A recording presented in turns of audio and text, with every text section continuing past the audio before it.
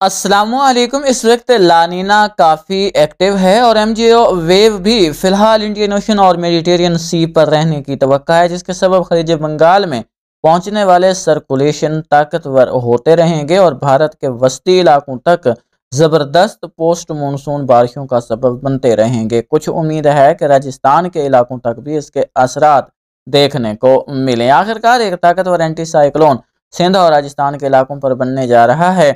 जिससे मानसून अपने अख्ताम को पहुंचेगा।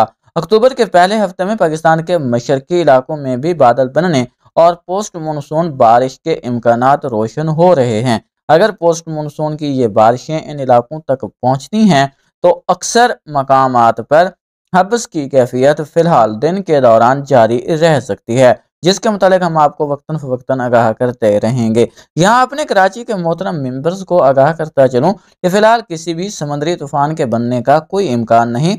सनसनी खेज खबरों पर ध्यान ना दिया करें। आज दिन के दौरान खुजदार डिवीज़न के कुछ इलाकों में बादल बनने और बारिश का इम्कान मौजूद है। बाकी बलूचिस्तान के अक्सर इलाकों में मौसम खुश्क रहेगा। कराची समेत साहली, सिंध के इलाकों में हल्के फुल्के बादल देखने को मिल सकते हैं। किसी भी इलाके में खातर खा बारिश का इम्कान नहीं।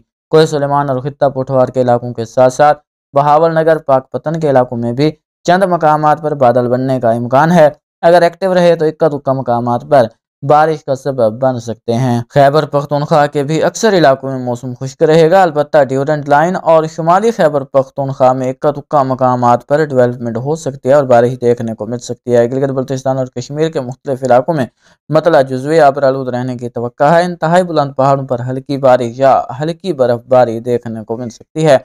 माह अक्टूबर में मौसम कैसा रहेगा? मुल्क भर की महाना पेश गोई कल आपकी खिदमत में पेश करेंगे।